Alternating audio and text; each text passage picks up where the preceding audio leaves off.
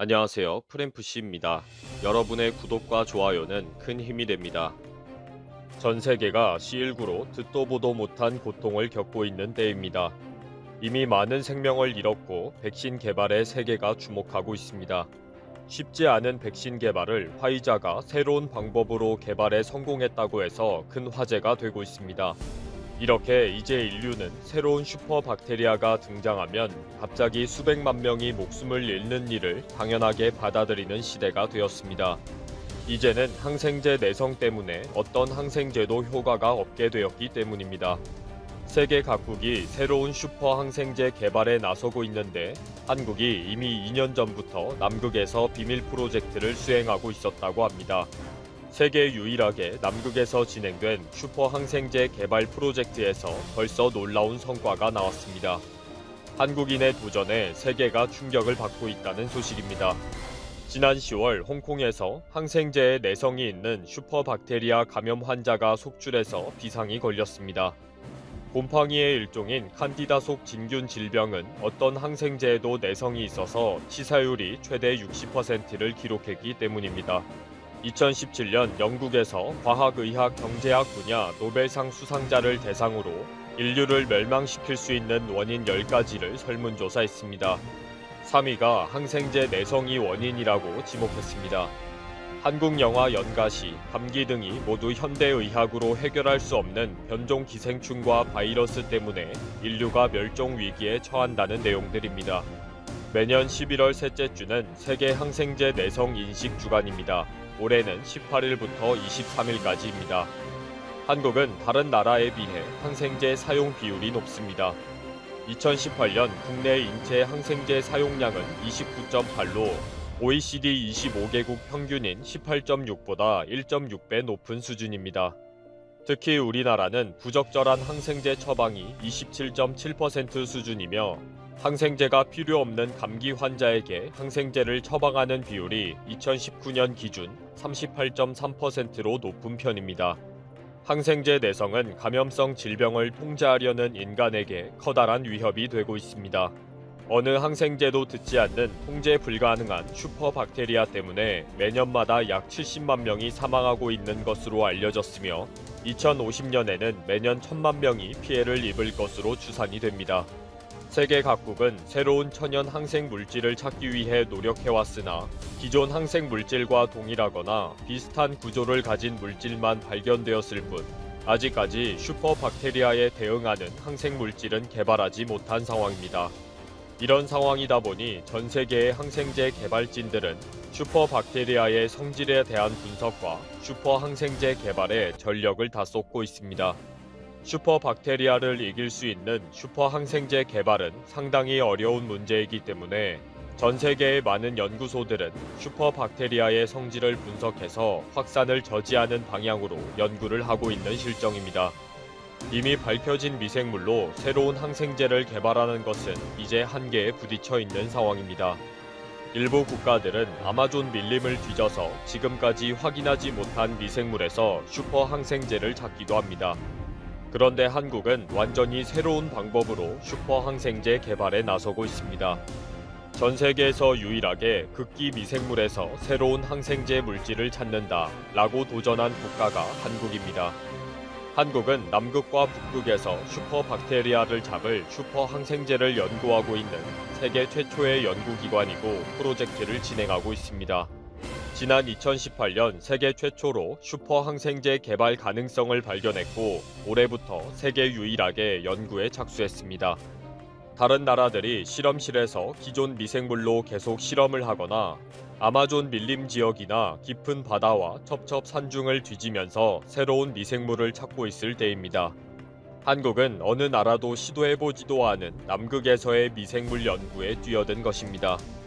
한국은 극지 생물이 가지고 있는 유전 자원을 이용해서 슈퍼 박테리아를 억제할 수 있는 슈퍼 항생제 개발에 나서기로 했습니다. 극지 연구소는 2018년부터 2년간 사전 연구를 수행하면서 새로운 항생제 후보 물질의 개발 가능성을 확인했습니다. 그동안 극지 생물의 유전 자원을 활용해 2018년에는 혈액 동결 보존제, 2019년에는 제2형 당뇨병 치료제를 개발하고 민간 기업에 기술을 이전하는 등의 성과를 얻었습니다. 한국의 극지연구소는 올해부터 2024년까지 약 125억 원을 투입해 슈퍼박테리아 대응 후보 물질을 개발하기로 했습니다. 2022년까지는 저온성 효소의 구조와 기능을 분석하고 항생 물질을 생산하는 새로운 극지 미생물을 탐색하는 데에 주력하기로 했습니다. 한국의 극지연구소는 이미 추운 극지에 사는 일부 미생물에서 기존과는 다른 항생 물질을 만들어낼 수 있다는 것을 밝혀냈습니다.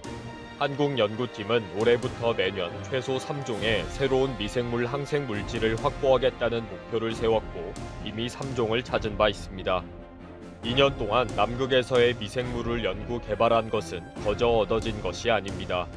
세계 최고의 열정과 투자로 남극과 북극에서의 연구에 매진해온 연구진들이 있었기 때문입니다. 한국은 남극과 북극에서 연구기지를 가장 많이 두고 있는 국가입니다. 남극에는 세종과학기지가 있으며 가까이는 아르헨티나, 러시아, 칠레, 우루과이, 폴란드, 중국 총 8개국의 상주기지가 있습니다. 특히 2014년에 새로 건설한 장보고 과학기지는 60여 명이 상주할 수 있는 기지이며 가까이 있는 이탈리아, 독일 기지 등은 하계 캠프 기지로 활용되는 비상주 기지입니다.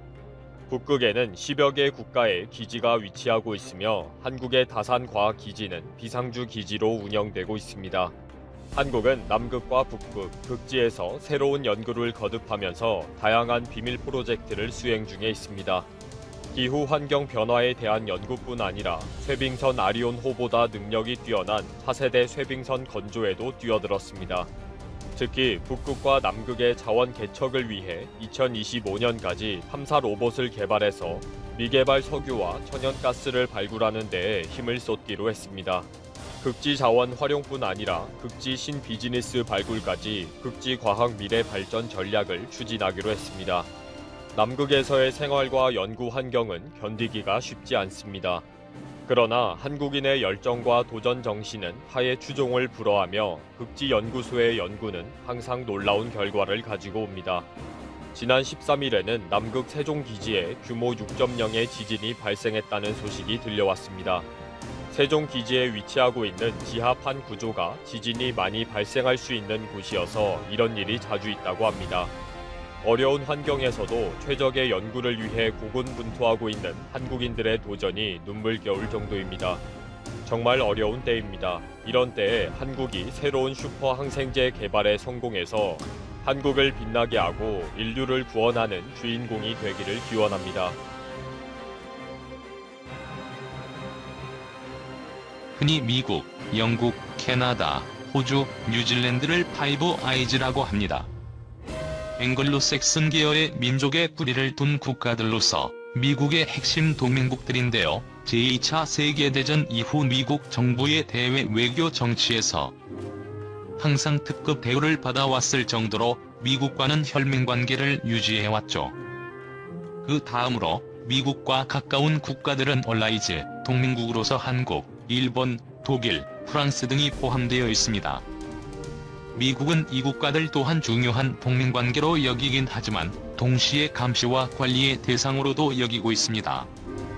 그런데 일본은 항상 자신들이 명예서양인이라고 주장하는 것과 마찬가지로 이 관계 속에서도 늘 특별해지길 원했습니다. 특히 미국이 한국보다 일본과 더 가깝다는 것을 강조하고 싶어 했는데요. 때문에 일본에서는 프랑스와 독일, 일본을 묶어서 파이브 아이즈 3그룹이라고 주장했죠. 이 영어권 주요 동맹국들 중에서 인구 규모가 상당히 크고 거대하고 단단한 경제 규모와 산업적 기반을 갖고 있으며 세계의 정치와 경제에 막대한 영향력을 끼치는 강대국이기 때문에 프랑스, 독일, 일본은 다른 동맹국들과 레벨이 다르다는 이유인데요. 최근 이러한 일본이 패닉 상태에 빠지는 일이 벌어졌습니다. 미국의 트럼프 대통령은 중국과의 경쟁 구도가 극심해지고 중국계 반도체 회사인 브로드컴이 미국의 퀄컴을 인수하겠다고 하자 그것을 직접 나서서 막은 적이 있습니다. 그리고 곧 CFIUS를 개정하겠다고 발표했었는데요. CFIUS는 미국의 국가 주요 기관 산업에 대한 외국인의 직접 투자, 인수, 합병 등에 대한 심사를 관리하는 기관이기 때문에 이것을 개정한다는 것은 미국의 안보를 더 강화하겠다는 의미와 동일하죠. 하지만 예외적으로 이 강화 조치의 영향을 받지 않는 방법이 있는데 그것은 CFIUS의 화이트리스트에 오르는 것입니다. 화이트리스트에 있는 국가는 별다른 절차 없이 미국의 산업, 정부 군사 시설, 부동산 등에 투자를 할 수 있죠. 일본은 그동안 미중 무역 분쟁 속에서 미국의 보조에 맞추기 위해 항상 노력해왔습니다.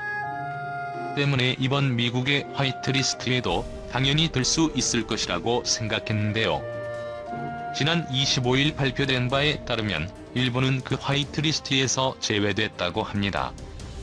따라서 다가오는 2월 13일부터 일본은 미국의 안보에 중요하다고 여겨지는 반도체 등의 26개 산업과 부동산 등에 투자하려면 복잡한 심의 절차를 거쳐야 합니다. 누구보다도 미국과 가까운 동맹국이라고 믿었던 일본의 입장에서는 그야말로 청천벽력과도 마찬가지인 소식인데요. 이것이 너무 충격적인 나머지 일본 우익들은 한국이 미국을 로비해서 일본을 제외시켰다라는 허무맹랑한 주장까지 하고 있는 상황입니다.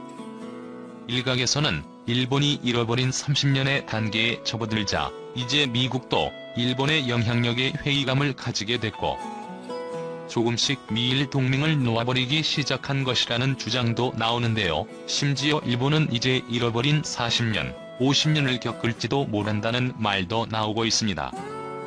지난 26일 동양경제 온라인에서 올라온 기사인데요. 일본은 1990년 버블 붕괴로 인해 현재까지 30년의 침체를 겪고 있는데 1989년 최고가를 기록했던 니케이 지수의 60%밖에 회복하지 못했다고 합니다. 미국의 SP 지수는 30년 동안 무려 9배의 상승을 기록하였으며 심지어 일본에서 매일 경제위기라고 보도하는 한국조차 30년 전에 비해 코스피 지수가 2배 상승하였죠. 기사에서는 일본이 앞으로도 경기를 회복하는 것은 불가능에 가깝다고 하는데요. 그 이유는 버블 붕괴를 초래했던 자민당이 아직까지 집권하며 일본의 모든 가치관과 시스템에 깊숙이 관여하고 있기 때문이라고 합니다. 그들이 기껏 경제를 위해 하고 있는 정책이라고 해봤자 경기 침체가 올 때는 빚을 내서 재정을 출자하고 이후 그로 인해 재정 적자가 생기면 국민들로부터 돈을 걷는 것이 전부죠. 30년 동안 이러한 행태를 반복해오며 일본의 생산력은 저하되고 있습니다. 게다가 일본에는 새로운 가치관을 쉽게 받아들이지 않는 국민과 기업들이 만연하여 이대로라면 일본이 잃어버린 40년, 50년을 겪는 것은 예정된 미래라고 합니다. 최악의 경우 2030년부터 일본에게 마이너스 성장은 일상이 될지도 모른다고 하는데요. 이것을 탈피하기 위해서는 국민들이 자민당에게 경제 파탄의 원인이나 책임에 대해 추궁하고 시정을 요구해야 하는데 그런 움직임이 일어날 기미가 전혀 보이지 않는다고 하죠. 현재 아베 정부에서 내세우는 것은 일본이 관광대국이 되고 있다는 것이 전부인데 이것마저도 국민들을 눈속임하는 것에 불과하다고 합니다. 외국인들이 일본에 많이 오면 올수록 그것은 외국인들이 느끼는 일본의 물가가 저렴하다는 의미이고 이는 곧 글로벌 사회에서 일본의 경제력이 떨어지고 있다는 것을 의미하기 때문입니다. 게다가 지난 24일 현대 비즈니스에서 보도한 자료에 따르면 일본은 현재 한국의 경제 성장률에 큰 충격을 받고 있다고 합니다. 1월 22일 발표된 한국의 2019년 연간 경제 성장률은 2.0%로 나왔는데요. 일본의 2019년 연간 경제 성장률은 2월 중순이 되어야 집계되지만 IMF에서 발표한 세계 경제 전망에 따르면 일본의 2019년 연간 경제 성장률은 1.0%로 예상된다고 하죠. 한국이 일본보다 1.0%포인트나 앞선 것인데요. 이로 인해 현재 일본 내에서는 매일 뉴스를 보면 한국의 경제가 파탄 직전으로 묘사되는데 왜 막상 일본이 한국보다 낮은 성장률을 보이는 건가라며 어리둥절해하는 국민들이 늘어나고 있다고 합니다. 그동안 일본의 언론에서는 한국이 미중 무역 마찰로 인한 중국 경제 둔화에 큰 영향을 받아 2018년 가을부터 경기가 악화되고 있다고 설명했고 그에 반해 일본은 상대적으로 내수 시장이 견조하기 때문에 미중 무역 마찰에도 불구하고 큰 경기 후퇴가 없다고 주장해왔기 때문이죠. 심지어 양국에서 발표한 잠재 성장률 또한 한국이